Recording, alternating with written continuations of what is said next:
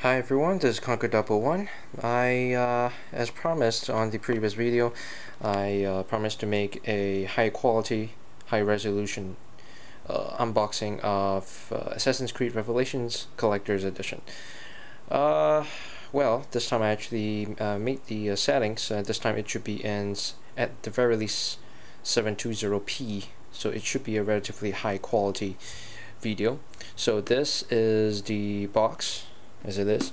Now in my previous video I thought that it was a hard card box, like those like really really rigid ones, but in actual fact it's not.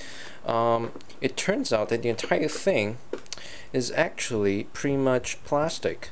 It's just merely okay it's not very clear but it's pretty much plastic but it's merely on the outer surface it's just merely wrapped in uh, fine glossed uh, paper uh, so to speak so uh, very hard, uh, very high quality, nicely built actually. So even though, um, and this doesn't feel like any cheap plastic. So kudos to Ubisoft regarding about that. It's very nice, very pretty. Uh, it's a doesn't seem that match, well matched up. But hey, I don't mind. So you open it up by pulling the flaps aside, and by doing so, as you notice, it actually brings the contents of the box upwards.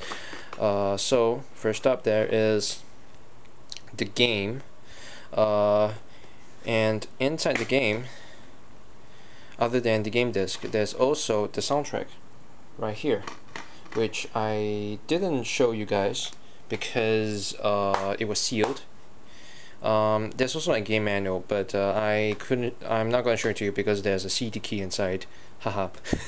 Uh, let's see there's also the art the art book. Uh, reflective cover very nice. Let me just give you a better look. There we go uh, heck I'm also just give you a really quick look on the uh, art book itself. This is the front this is the back. Uh, Ubisoft there we go. Um, here there's some initially I thought it was some printing error.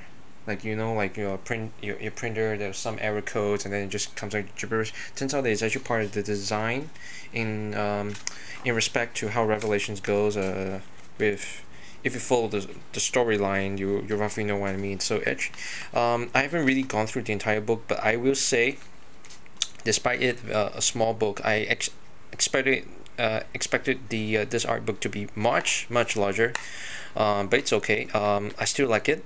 I intend to go through it one day just sip some uh, sipping tea and enjoy the artwork.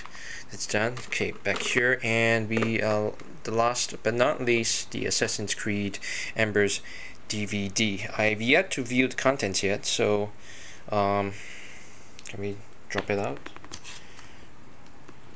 Uh, okay here we go. So the disc as well as the cover. I've yet to watch it, but I'm quite excited. I'm not too sure if I should watch it first, uh, then play, or play it, then watch it. So if you guys got any comments, if you probably have gone through the game as well as watching it, maybe you could just let me know, see which one I should probably do first. Okay, so this is pretty much the unboxing of the Assassin's Creed uh, Collector's Edition. Thank you.